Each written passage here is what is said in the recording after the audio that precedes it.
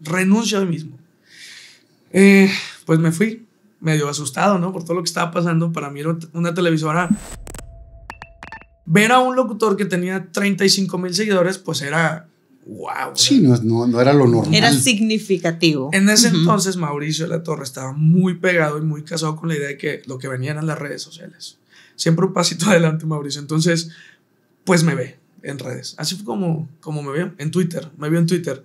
Y dijo, a ver, ¿qué pedo? ¿Qué está haciendo este chavo ahora? Si no es de multimedios y, y no es de televisión tampoco, ¿Por ¿verdad? qué tiene tantos seguidores? Pues me puso, se puso a estoquear y yo buena onda a los de ellas con las estrellas también les daba retweets y me apoya, me decían, oye, apóyanos, no, tienen más seguidores que nosotros, las chavas. Este, y yo lo reposteaba. En una de esas me, salu me saludan a despedir el programa y digo, ¡eh, adiós! Y fue mi única intervención al aire en Dance con las estrellas. Y me llega un mensaje a Mauricio La Torre por Twitter. Me dicen, ya sé quién eres, sé que eres locutor, sé lo que estás haciendo, te he estado escuchando, pero no es justo que estés saliendo cinco segundos al final de un programa. Eh, quiero hablar contigo. Pues así se quedó. Ya, le, le seguí mensajeando. Al día siguiente, unos dos días después, me habla a las 6 de la mañana y me dice, te estoy escuchando, Irving. Me encanta tu programa. Ya sé por qué tienes tantos seguidores. Estás complaciendo el aire, tienes una facilidad cañona. Ya sé que saliste en los TV Teens, ya sé que ya no te invitaron, sé que no te están pagando en Televisa para nada, lo estás haciendo de gusto. Y te apuesto que estás ganando bien poquito en Radio Alegría. Acéptame una entrevista. Ah, además, brujo. no, pues es que tú sabes, Mauricio es, este, era brujo.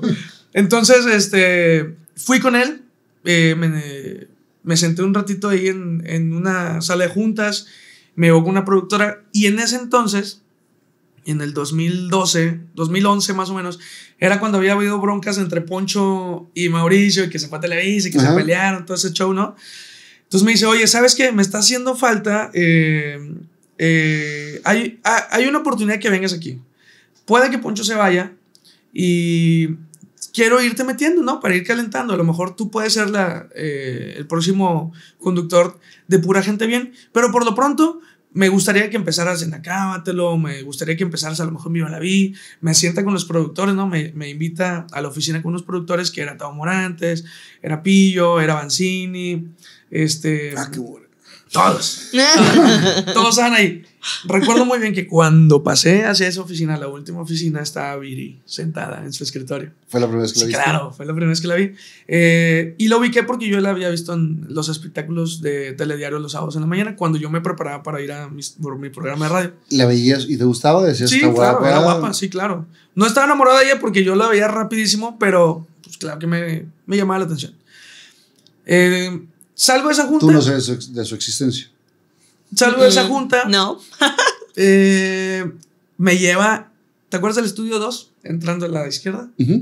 Hay un logotipo en las gradas, ¿no? Entonces me dice: Vente, vente, Irving. Vamos a platicar aquí abajo el logotipo de multimedios. Aquí es donde yo he cerrado los mejores tratos. Aquí estuvo conmigo el arquitecto, también María Julián. Todo. Aquí hemos planeado las mejores cosas de esta televisora. Solo te quiero decir que no te vas a arrepentir. Es la oportunidad de tu vida. Tienes que estar con nosotros. Eso fue como un, como un diciembre, enero, más o menos, del 2011 a 2012. Te voy a dar un día para que lo pienses, dos días, eh, y espero tu llamada. Pues así fue. Regreso con Pancho, le cuento todo lo que me ofrecieron. y Pancho también, súper colmilludo toda la vida, ¿no? Inteligente el tipo. Me dice, wow, sí te quieren ahí con ellos. Sí te quieren. Eh, yo no quiero que te vayas, pero lo único que te puedo aconsejar es que les digas que no. Diles que no a todo. Todo lo que te ofrecieron, diles que no. Porque te quieren ahí. Y yo, eh, ¿Cómo? ¿cómo? O sea, sí, sí. Ajá. y entonces me dice, tú diles que no, vas a ver, de mí te vas a acordar. Mi Pancho era mi maestro. Tu o gurú, sea, claro. yo nunca había tenido un jefe y, yo nunca había sido una mano derecha de alguien que para mí era alguien muy importante porque era la mano derecha de los dueños, ¿no? De una estación de radio de un grupo que hasta en ese momento era, pues, de los más importantes, ¿no? En la ciudad. Pues le dije que no, Mauricio. Me habla dos días después, ¿no? Este, en la mañana, igual en el programa de radio, y le digo, ¿sabes qué, Mauricio? Ya lo pensé muy bien. Eh, voy a rechazar tu oferta. Eh, prefiero quedarme en mi trabajo, me está yendo muy bien. Entonces, yo nervioso, temblando, eh, voy y le digo a Pancho, ya cuando llega en la mañana, le digo, ya me habló, le dije que no. Muy bien, te van a volver a hablar. Eso no me había dicho la primera vez. Y yo, entonces, si quieres que me vaya, sí, pero te van a volver a hablar. Y cuando te hablen, le vas a pedir esto y esto, y le vas a pedir el doble, y el cajón de estacionamiento, y esto, y todo me dijo. Pues pasaron semanas, meses, y yo bien agüitado porque Mauricio no me hablaba. ¿Por qué no sonó el teléfono? Y tú, este, ya mero, ya mero va a sonar. No, no me hablaba. No me hablaba, no me hablaba. Eh, en, en esos mesecitos, ¿no? De, de, Como de enero a mayo. de enero a mayo, más o menos, pues sí, Poncho se fue. Poncho se fue, abrió su programa en Televisa, pasó todo el madre que todo el mundo vimos ¿no? en televisión y me suena el teléfono y era Mauricio. Me dice, Irving, me urges, güey. ¿Qué quieres? Me urges, güey. Eh, ahorita estoy en Houston, mañana voy a Monterrey y necesito verte ya, porque el jueves era martes. Necesito verte el miércoles y el jueves necesito que estés en- conmigo. ¿Qué onda? Jala. Y yo, Pancho, me hablaron. Te dije, cabrón. Te dije que te iban a hablar. Órale, recuerda esto, esto y esto y esto. Y yo, cajón de estacionamiento. Y que Sí, no se te olvide. ¿qué vas a estar? Pues voy. Pues al miércoles yo bien nervioso porque pues realmente me habían vuelto a hablar. Y yo con un chorro de seguridad, pues porque me habían vuelto a hablar, ¿no? Entonces, Irving, este, se está cayendo PGB.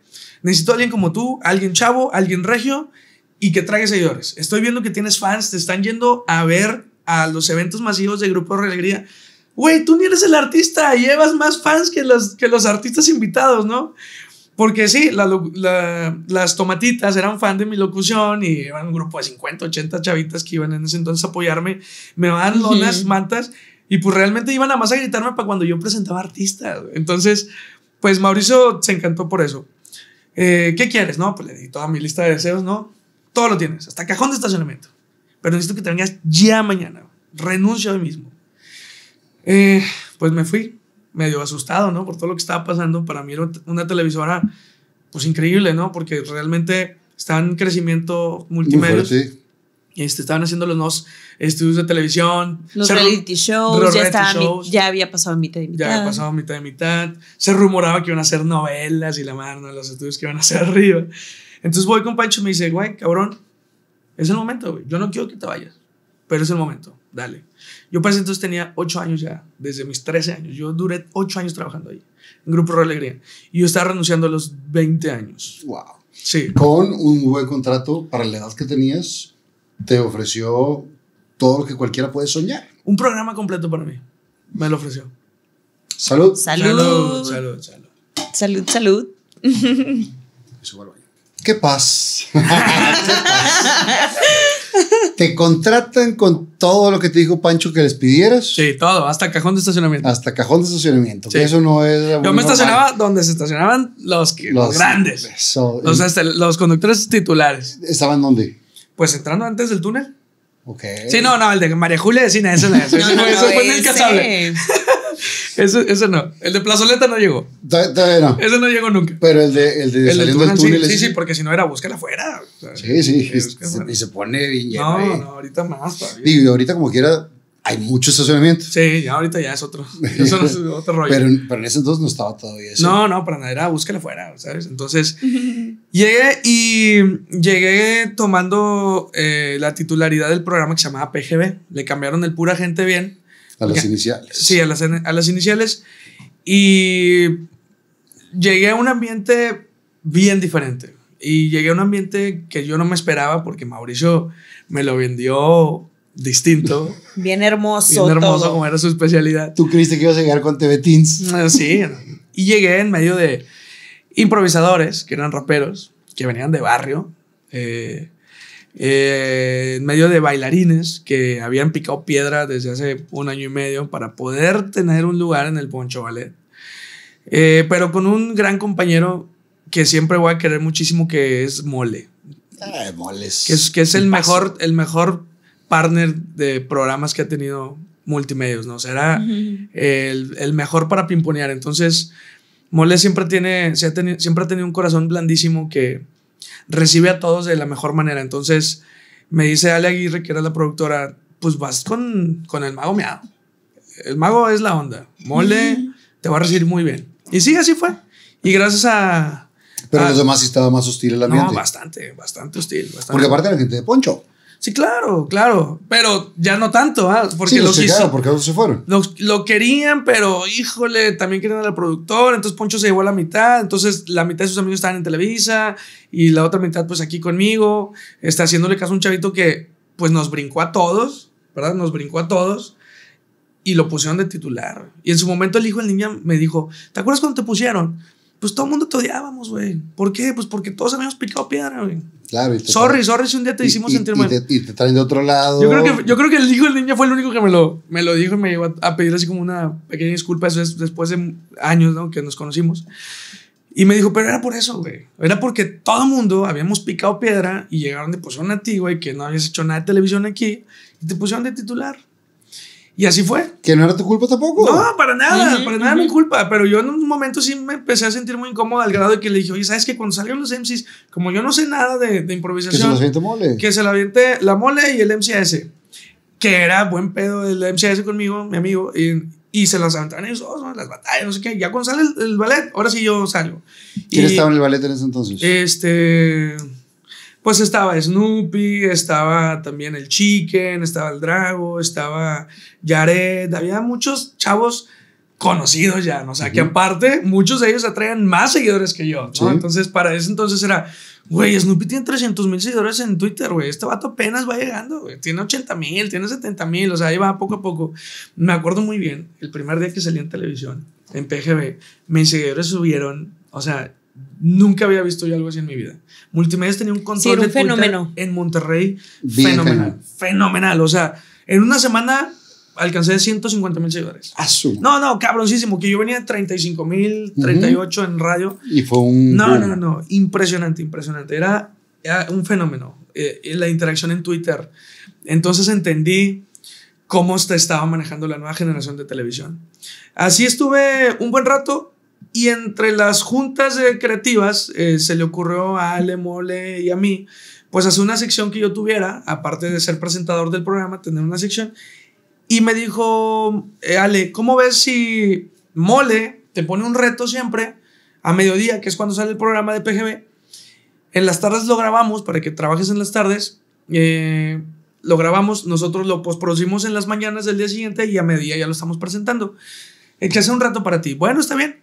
Ahí nació el Tomar Reto. Ahí nació Tomar Reto. Fue la primera vez. Y ahí hacemos una pausa. Cuando llega el nuevo con cajón de estacionamiento, pues se hace ruido, por supuesto. o sea, se hace Sí, no, no. Ahí ya te enteras de la existencia. Sí, sí, claro. Yo me di cuenta cuando fue la segunda ocasión a la entrevista, pasé detrás de mí y yo, ah, es el, el de la entrevista. Todos sabían que yo había dicho que no. Paréntesis, ¿no? O sea, pues porque obviamente todo el mundo se enteró que yo había ido la primera vez con Mauricio meses atrás. Y bueno, yo no sabía. Gabriel me contó después que pues todos sabían que yo era el que había dicho que no. ¿Y cómo había dicho que no si estaba... Claro. Eh, o sea, o sea, eh, ¿quién claro. era él para decir que no, verdad? Mauricio, güey. Sí, sí, sí, o sea, eh, ahora me da mucha risa, ¿no? Este, y, y efectivamente veo que, que va a la entrevista, y, pero pues yo estaba en lo mío, ¿sí? Para ese entonces ya nos iba demasiado bien con los reality shows de los miércoles. Estábamos en... Es que ya no estaba yo en Televisa. Ah, tienes razón. Ese fue un buen motivo. Ese ya no estaba yo en Televisa, ya no estaba en los Razón. realities acá. Sí, no, bueno, pues entonces a mí me tocaba estar de lleno en los reality shows, en este, desarrollando las pautas, coordinando grabaciones, estaba de lleno. Em, y pues nada, ya para ese entonces él se queda. ¿Y, ¿Y cuándo platicaron la primera vez? Pues yo creo que en los siguientes días, ya cuando fue un hecho que ya firmó, ya es parte de producción, este, pues hay que tomarle fotografías, hay que tener como este, todos sus datos, el registro, no sé qué, no sé qué, pues yo le hablaba. Oye, ¿cuándo puedes? Ven a la sesión de fotos para tenerte en el book. ¿Y llegó como estrellita o llegó tranquilo? No, buena onda. Buena onda, pero mi percepción era como, pues, es el que viene ajeno. No es de aquí, es No forastero. es de casa, Todo, hombre. Es forastero. Sí, fue bien. Sí. bien ¿Y, raro. y para ti era tensionante eso? Claro, sí, claro. ¿Por qué? Pues porque yo en Radio Alegría conocía a todos desde que yo era chiquito. Todos me conocían, los baños me conocían. Pues yo era el bebé de ahí, ¿no? Y te arropaban. Y me arropaban cañón. Y en Televisa, pues había tenido una experiencia ahí de un año, ¿sabes? O sea, y nunca me pagaron en Televisa, de repente me pasaban mis spots, sí, pero pues si no había programa de televisión para mí, no, no pasaba nada, ¿no? Eh, lo más que llegué a hacer fue lo de TV Teens y de repente que me invitaban al club y yo salía de DJ. Y listo. Pero sí, sí, fue algo muy tensionante porque no era lo que me había platicado Mauricio. ¿Y cómo te empieza a ir de números? Eh, extraño. La verdad es que sí se quedó como en un momento PGB un poquito estancado, a pesar de que yo estaba ahí. Le quise meter algunas cosas diferentes, pero era bien, bien difícil porque pues, los chavos se negaban a hacer babosadas como yo lo quería hacer, ¿no? O sea, yo traía ideas mm, distintas que la mole sí me entendía y este, se manchaba conmigo y se metía albercas conmigo, ¿no? En los tomarretos que él me ponía. Pero cuando le pedíamos eso a los MCs, ¿no? A los improvisadores o a los ¿Cómo? de ballet, ¿cómo, güey? ¿Cómo es peinar, güey? O los MCs es, güey, yo, soy rapero. Sí, yo no vas a. El que más le entraba era MCAS. Por eso se hizo compa mío, porque él sí le valió un poquito más madre y hicimos una serie ahí este, donde al final éramos pareja, él y yo gays. O sea, sí estuvo muy cagado. Pero nunca llegamos a darle un cambio totalmente a PGB, pues porque realmente ellos querían hacer eso. Y teniendo a Pocho enfrente en Televisa, pues era bien difícil, porque pues él era el maestro, él era el rey de esa fórmula de programa, ¿no?